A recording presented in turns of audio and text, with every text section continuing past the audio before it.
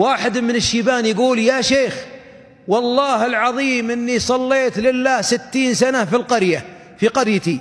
ما ظننت أن السنة الراتبة اللي قبل الظهر وبعد المغرب والعشاء وقبل الفجر ما ظننت أنها مندوبة. ظننتها واجبة. لي ستين سنة أتسنن على أنها واجبة. وأن قيام الليل واجب وأن صلاة الضحى واجبة. الله يحسن عزاكم اللي ما تصلون يقول. قلت والله لو أنك تعزينا حتى لا عزاء لنا. كان يصليها كأنها واجبة ثابتة عليه. ثم قال يا شيخ لماذا يصلون ويهربون؟ يهربون من ربي. يصلي والتسليمه الثانية عند النعال.